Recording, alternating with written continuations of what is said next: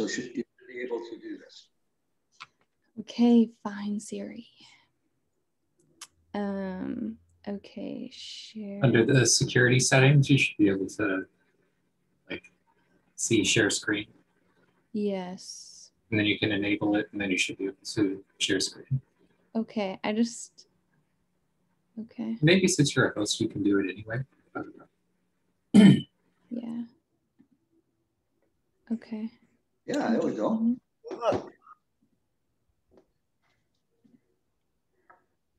Okay. A future socialist society. I should have written John Molyneux. Okay. Um, this was an alternate title. Um, da da da.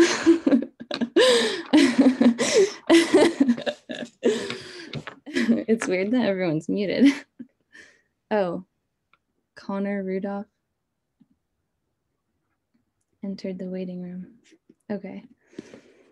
Um, okay, this is John Molyneux. Um, uh, socialism. Oh, wait, no, we'll start here. Yeah, so there's a need, he says there's a need for socialist propaganda to, uh, for an angry denunciation of capitalism. So that's why I had that other slide. Um, he emphasized the need for hard-headed analysis of strategy and tactics, um, but also the inspiration that makes the struggle worthwhile. Um, he also said we can't um, we can't exactly predict the future, but we can dream, struggle, learn, and organize, analyze together. Um, this is a quote which I can't really see. Oh, maybe I can minimize everybody. Um, how do I? Okay, there. Um, socialism is a historical process and can only be achieved in a fully classless society on a worldwide scale. Um, how do I? Okay. So, the conquest of political power. Um, the working class has to must create its own state. Um, the state will be a centralized organization with ultimate authority in society and a decisive armed force, um, the workers' militia, um, which will uh, service will be on a rotating basis um, to uh, train and involve as many workers as possible and um, ensure that uh, like the militia wouldn't be like separated from the working class um, as a whole and you know keep everyone to be a part of um, who's able at least in this way to be a part of um, learning how to run and structure the society. Um, and this sort of militia will be more effective because of the roots in community um, and it won't be a separated arm of the state but rather comprised of, yeah, community itself. Um, the officers in the militia would be elected, um, not the collection of uh, type of people that are in a capitalist police force, to put it in that weird way. Um, so the fundamental feature of the worker state will be that it relies upon and mobilizes the self-activity, organizing ability, and creativity of the mass of the working class to build a new society from the bottom upwards. Um, our democracy today depends on the passivity of the working people and others. um, so the Nationals Worker, Workers Council um, every state institution will be responsible to the Nationals Worker Council. Um, uh, and there will be, um, yeah, different political parties will operate freely in the councils, and the party with the majority support from the workers would form the government.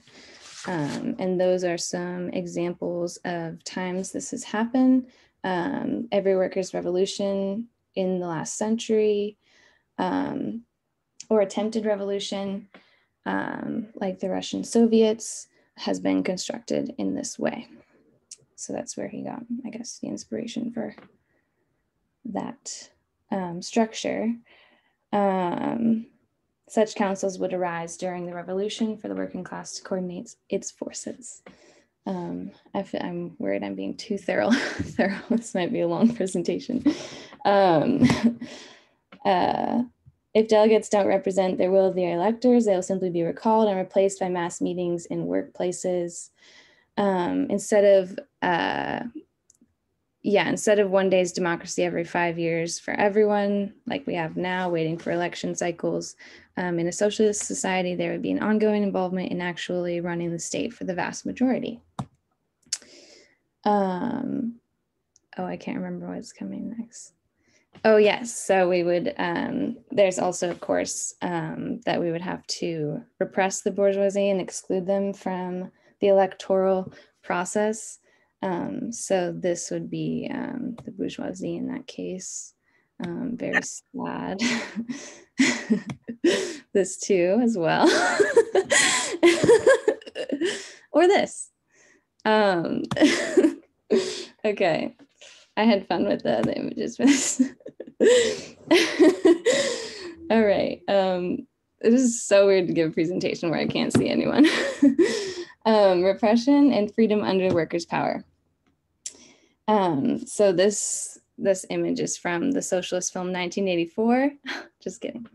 Um, but basically, um, oh, admit. Hi, Noel, if you can hear me. I don't know. Um, yeah, so we'll need the, uh, because of capitalist propaganda, there are many myths and misconceptions of what socialism actually is, um, particularly because of the defeat of the Russian Revolution. Um, so in order to maintain workers' power, some repression of the capitalist state bourgeoisie will be necessary. Um, the dictatorship of the proletariat. Um, the very newness of the worker state will make its rule fragile. So, yes, it's very important. Um,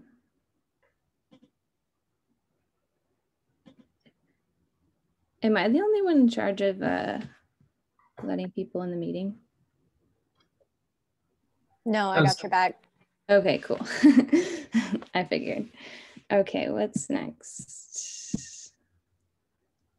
The conquest of economic power. Okay, so the foundations of socialism or uh, uh, lies in the economy. So, um, of course, the working class basically is the economy, um, and they will have to take power of all means of production, um, and which will need to be done quickly, um, of course, while um, while we maintain repression of the capitalist state, bourgeoisie.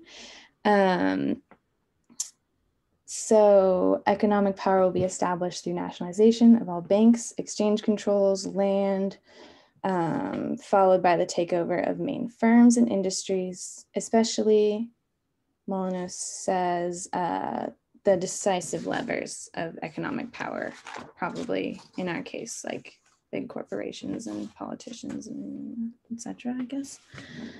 Um, so first nationalism will be uh, nationalization uh, will be a legal takeover at the top with the workers action at the base. Um, there will be nationalization uh, without compensation in order to break the economic power of the bourgeoisie. Um, um, is Noel admitted? Because it says that they're still in the waiting room. Yeah, they're having trouble connecting, it looks like. Oh, okay. Cool. Sorry. I guess I don't need to worry about that. um, and nationalization will be under workers' control, most importantly, um, by each factory or uh, workplace uh, to be run by an elected council accountable to periodic meetings of the workforce. Um, yes, so there must first be workers' ownership and control of the industry, followed by the introduction of a planned economy. Um, so uh, workers, yeah, the planning process would begin in workplace meetings, factory councils, workers' councils, um, with the determination of people's needs and priorities and an assessment of the productive capacities of each workplace. Um, councils will draw up a coherent plan to be submitted to the working class for debate and to its representatives, representatives in the workers' councils for amendment and approval. Very technical, detailed idea ideas, I guess. I don't know. Um, this is a little bit of Frida Kahlo. Um, spreading the revolution, the international dim, uh, dimension. Um, so socialism cannot be built in one country, um, and this means organizing a revolutionary movement internationally. Um, uh, because of the threat of capitalist counter revolution, um, oh, yes. So yeah, this will mean that the threat of capitalist counter-revolution will be ended.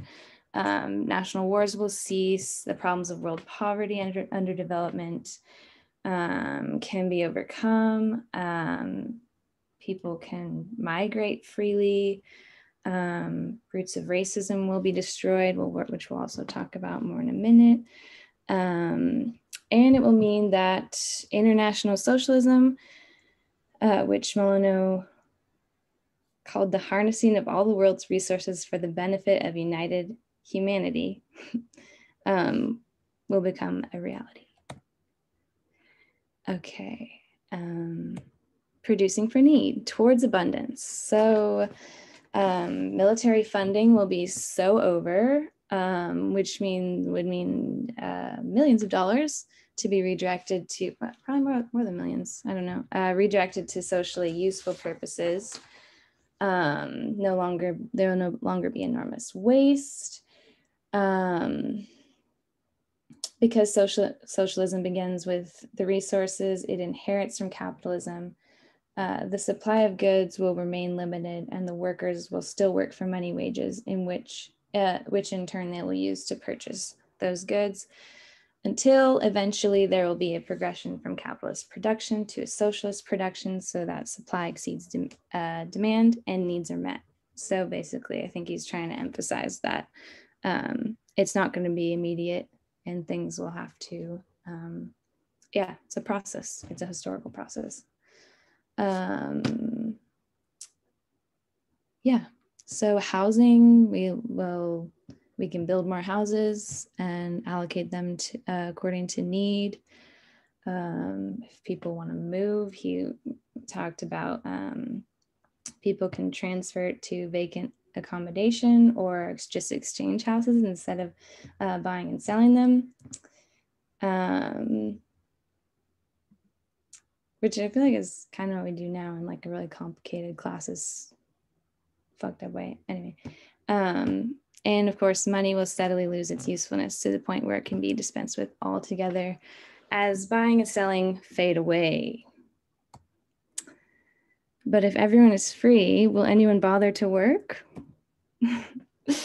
um, the transformation of work. So he says this would be the most important task of all. Maybe that's up for debate. Um, the work week will be systematically reduced. Um, automation will be used to eliminate the most unpleasant menial jobs. The division of labor will be progressively overcome. Everyone will become both producer and planner of production. In Marx's words, um,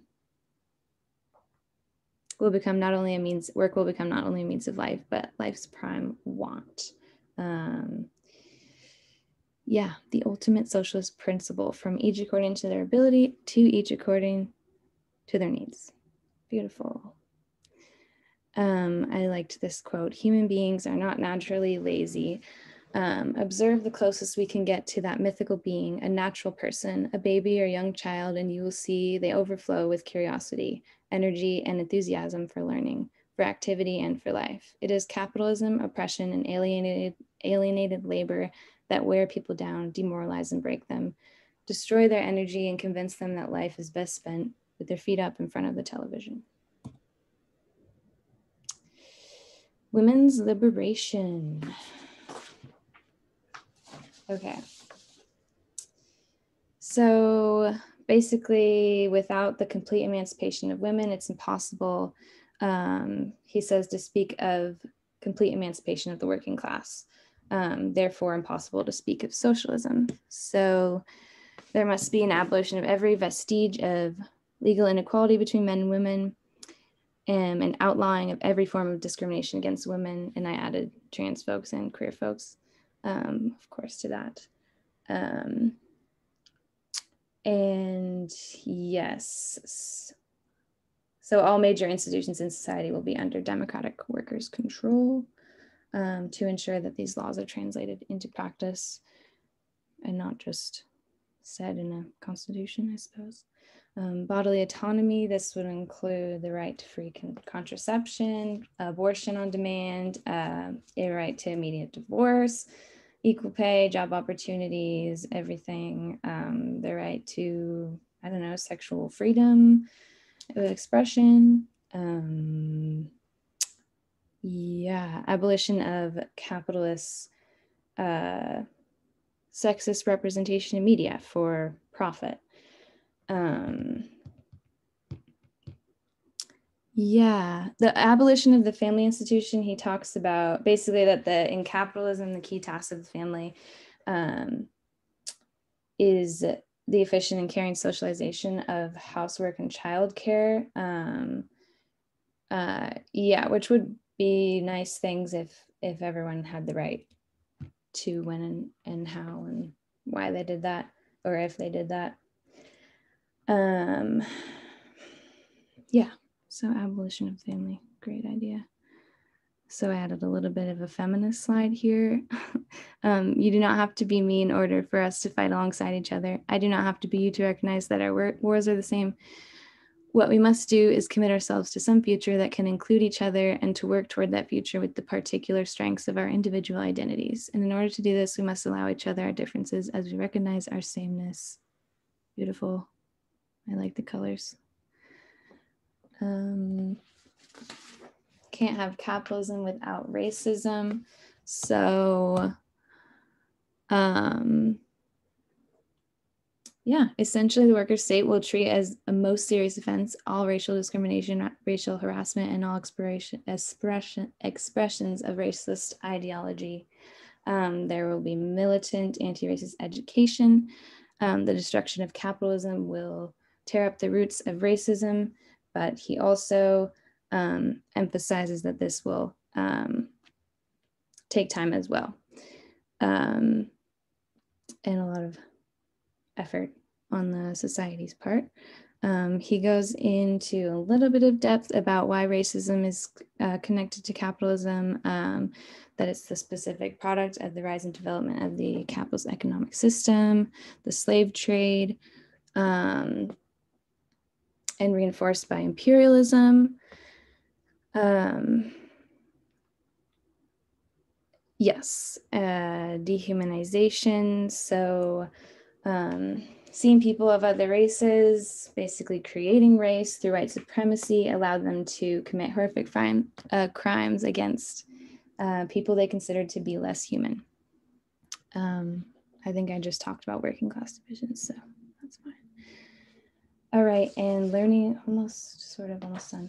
Uh, learning for the future. So schools under capitalism versus socialism.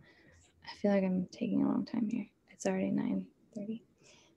okay, the rule the role of schools under capitalism is to reproduce the class structure of society. The task of the workers' state would be to create an educa- education system that um, fosters the desire to learn. Uh, quite opposite of what we have now. Um, I will skip that and that, not that important. What is true of education will also be true of culture generally. You could say that now, sort of, but in a negative way. Um, okay. Um, socialist education will equip everyone to take an active planning and administrative role. Of course, school will be the all around development of the human personality. Exciting. I will, yeah, let's read this. Uh, to me, the classroom continues to be a place where paradise can be realized, a place of passion and possibility, a place where spirit matters, where all that we learn and know leads us to greater connection and greater understanding of life lived in community. Beautiful. socialist idea, sort of. Yeah, I think she's a socialist feminist. Okay, we're getting there. Um, ultimate goal of socialism uh, uh, and of the struggle working classes freedom. So, yeah, we want real freedom from hunger, poverty, war, oppression of race and sex, and um, yeah, this can only be done by establishing uh, freedom of the working class to run society. I think, yeah, okay. Oh, this is important. The worker state also places certain restrictions on the freedom of the working class itself, and the worker state must be um, dismantled as well eventually. Um, and the state cannot be dis, uh, dismantled until the international victory of socialists, socialism, total defeat of the counter-revolutionary bourgeoisie. This is such a long presentation. Um, and the abolition of the root of all exploitation and class divisions. Um, the achievement, then you'll have the achievement of material abundance and goods only distributed according to need. Um, yes, there's a little bit about crime. Um, it will, won't be happen because the need won't won't be there, um, and otherwise uh, you can deal with it with community um, involvement collectives. Okay, yeah, I think that's um, it. It's over. Thank you. Bravo. That was great.